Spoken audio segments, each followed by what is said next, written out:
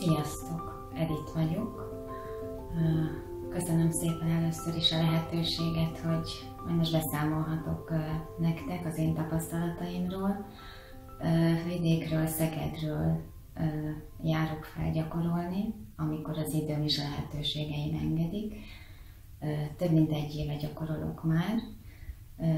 Amikor nem tudok feljönni Pestre, akkor otthon az otthoni gyakorlatokat szoktam csinálni.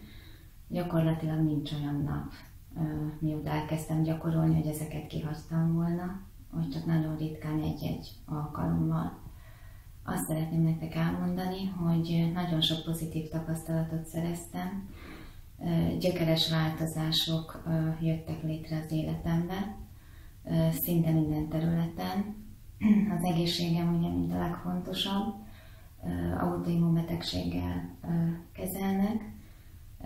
A gyakorlás óta nagyon jók lettek a leleteim, még nem tökéletes a helyzet, de, de nagyon bízom és optimista vagyok, és, és gyakorlok ezerrel.